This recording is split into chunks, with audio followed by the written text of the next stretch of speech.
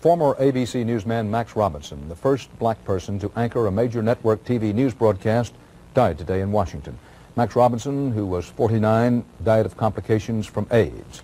In 1969, he became the first black anchor on a local Washington station, the CBS affiliate there. Nine years later, he became one of three men to anchor ABC's nightly news broadcasts. Today, a friend said Robinson wanted the cause of death publicized to emphasize the need for AIDS treatment and education particularly for victims who happen to be black.